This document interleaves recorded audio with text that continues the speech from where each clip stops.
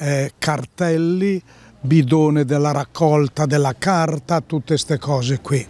Ho poi buche a non finire, caditoie sparse dappertutto, ho tombini sopraelevati, quindi ecco quello che abbiamo incontrato. Non è una sceneggiata né una carnevalata, ma una dimostrazione. Lo ha precisato sin da subito Carlino Bertini, residente della zona, che questa mattina insieme a Giorgio Francolini ha fatto vedere in che modo un diversamente abile deve percorrere via Trave dopo le modifiche recenti apportate dall'amministrazione comunale di Fano. Abbiamo fatto un percorso, questo percorso ad ostacoli e magari con un traffico limitato, quindi non con tutte le difficoltà del traffico di mezzogiorno della mattina alle 7, però un percorso molto accidentato, il conducente ha dovuto rientrare diverse volte perché ci sono dei tombini sopraelevati addirittura nei passaggi pedonali.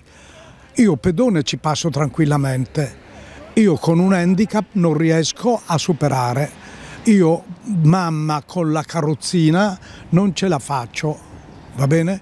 Ecco, questo non, i tecnici del comune di Fano non, hanno, non, non si sono resi conto di questi. Per esempio, guardate, qui c'è un dosso, la caditoia è dopo del dosso.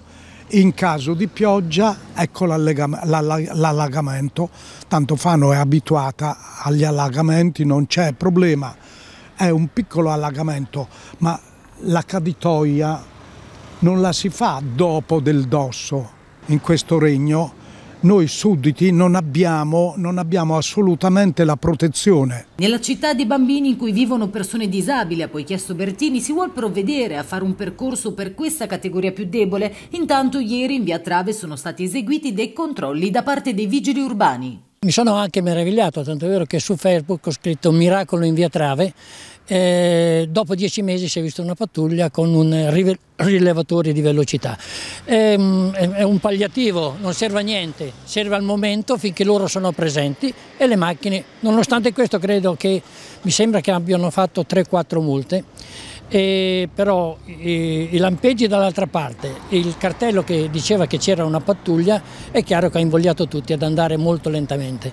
Ehm, non servono a niente queste cose, noi lo ribadiamo io, io personalmente, ma tutti i residenti lo ribadiscono da due anni e mezzo, che l'unico mezzo per fermare la gente che va forte è un rilevatore di velocità fisso. Andrete anche dal prefetto? Sì, abbiamo un incontro credo fra una settimana, massimo dieci giorni con il prefetto proprio per illustrare le problematiche di questa via e degli obbrobri che hanno fatto. Questa rotonda è la strettoia davanti alla palestra e la strettoia in fondo e quindi ci muoveremo e non saremo mai fermi finché non hanno tolto questa schifezza.